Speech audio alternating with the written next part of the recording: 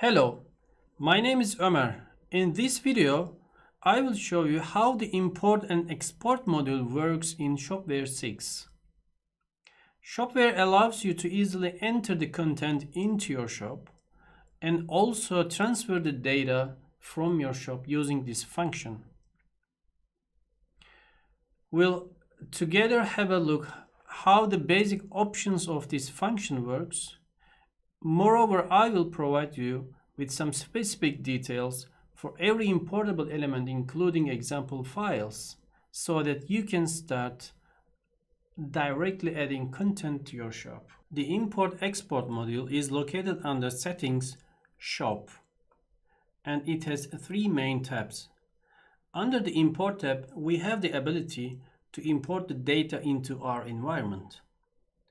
What we need here is a CSV file which contains the external data and necessary information to be imported.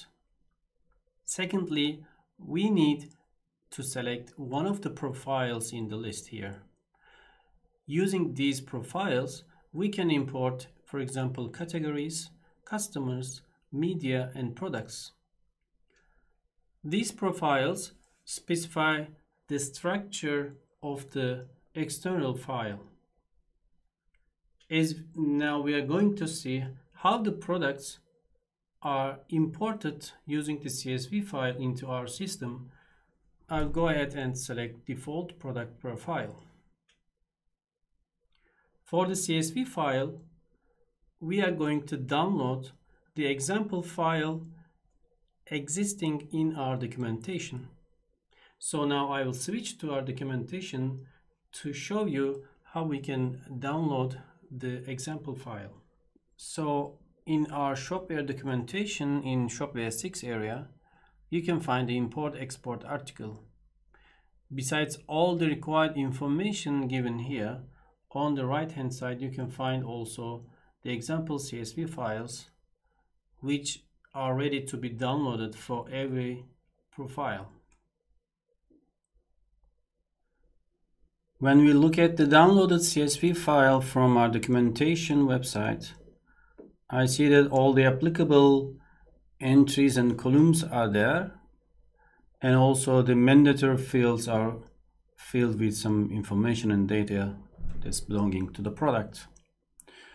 The first column is the ID of the product. By ID here, it's meant the UUID ID of the product. In other terms, universal unique identification. Uh, keep in mind that when we are importing a new product to the system, this column should be left empty uh, because uh, UUID is assigned by the Shopware system. But how to find this UUID in Shopware, I will switch to the admin and go to products under catalogs. Select one of the products in the list and go to the address line here. This highlighted is the UUID of the product. When I go back to my CSV file, I see another UUID which is belonging to the text. So this is also assigned uh, by the Shopware system. Uh, to compare and match uh, the UUID here in the CSV file with the one in the Shopware system, I will again switch to the admin area and check if this UUID is the one we are looking for. So text uh, is located under settings, shop, and as you see we have three different uh, tax rates. As uh, the one we are looking for is the 7% reduced rate. I just click on this and again I look up here in the address line um, the the last and number ID is the UUID actually of the text. I'll just copy this from the address line and go back to the CSV file and paste it here. and then I'll go ahead and save the file here. So now I move on to importing the CSV file that we have downloaded from the documentation website. I switch again uh, to import export module under settings and I'm under the import tab here. First of all, we have to choose the file that we want to import.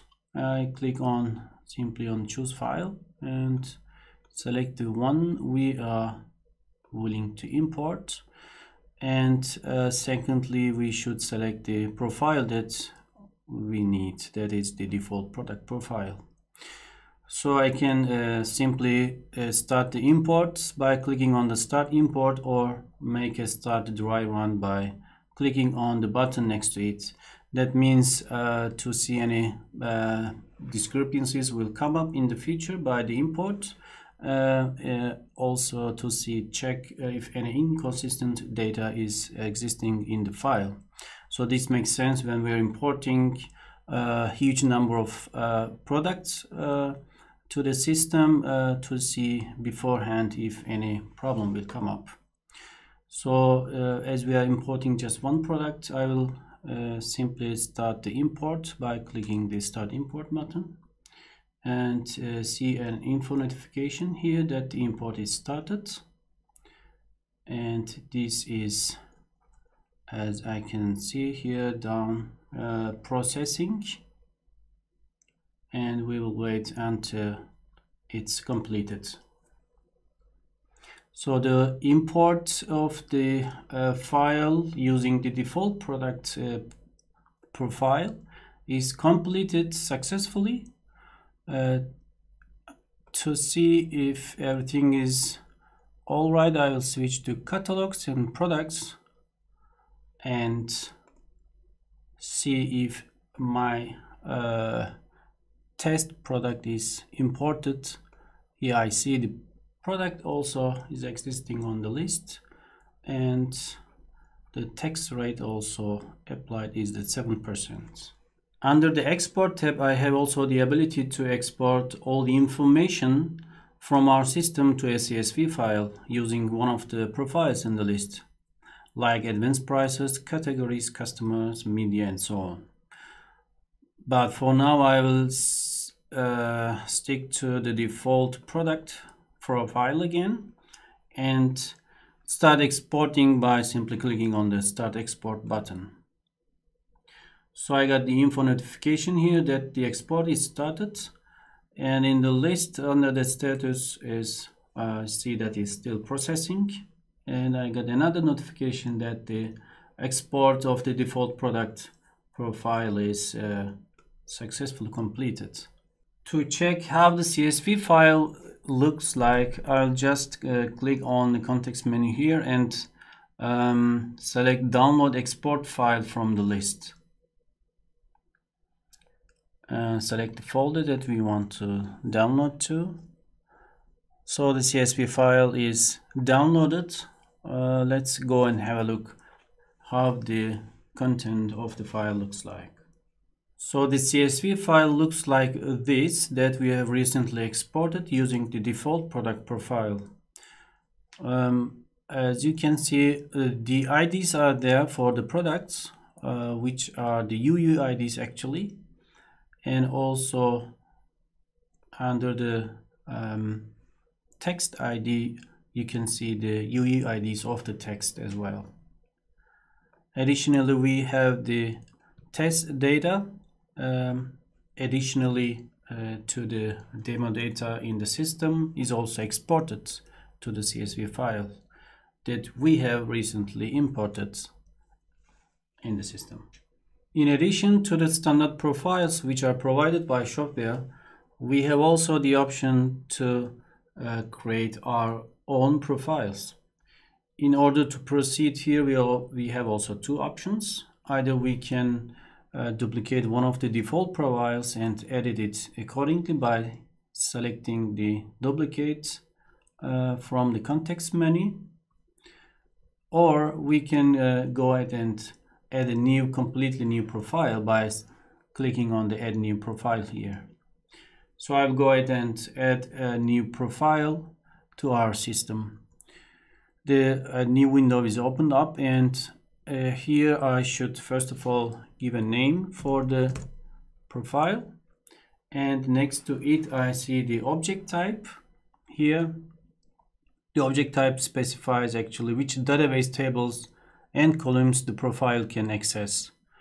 So I will um, select product from the list and below that I see the usage uh, is either export import or both. This means we can choose uh, the, whether the profile uh, will be used for import export or for both. So I'll go ahead and select import and export under that uh, under the field indicators I see the separator character is by default selected semicolon uh, this means uh, this will be used to separate the fields in the CSV file. And next to it, I see the enclosure character. Uh, this appears at the uh, beginning and end of a text, and within these characters, the separated characters are ignored. Uh, on the bottom of the page, I see the import settings and uh, I can disable or enable uh, two things here create new entities or update existing data. So we can define here how the import should handle the values of the import file. Uh, with the button create new records we define if the importer is able to create new records uh, in our system uh, for this purpose the id in the import file can be left empty uh, because as we said earlier this will be assigned by the shopware system. Uh, with the update existing data the import is enabled to overwrite existing information in the store. So this uh, the information will be overwritten and uh, modified accordingly I will move on to the next window by clicking on the next button down here um, in this window, we have the possibility to create our profile based on an already existing CSV file. That means this could be uh, exported from another store and all the fields from the CSV file uh, will be received, uh, which we can assign to the database entries. But as we are going to uh, create a new profile from scratch, I will just skip this CSV upload.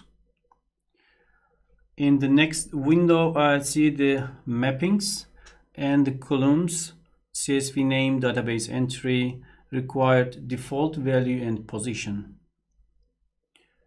The CSV name that we assign here must be the name of the corresponding column in the CSV file which is used with this profile the database entry specifies actually the entry in the database that this um, entry will be accessing to.